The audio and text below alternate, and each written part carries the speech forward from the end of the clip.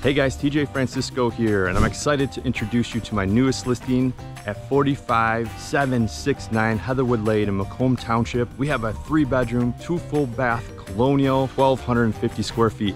They just replaced the sidings, gutters, and windows. The air conditioning was replaced in 2020. Furnace was replaced in 2017. Let's go take the tour.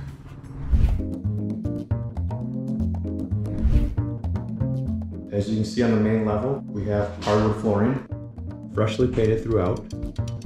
The kitchen is brand new with vinyl flooring, granite countertop, and marble backsplash. So downstairs we have a partially finished basement, a lot of potential here. We also have a laundry space, back with the mechanicals,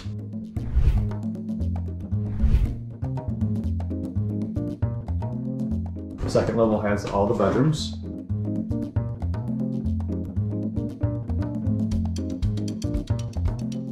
As you can first see, the carpet is brand new on the second level.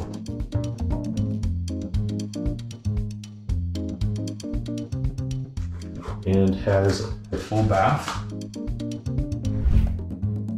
As we enter in through the side gate, we have a nice big shed for extra storage for the lawn equipment the sight line looks huge as far as what the lot looks like here. You have access to the easement to use and to enjoy. Usable space you're not paying taxes on, but you can use them and enjoy it. The nice, large yard with a deck.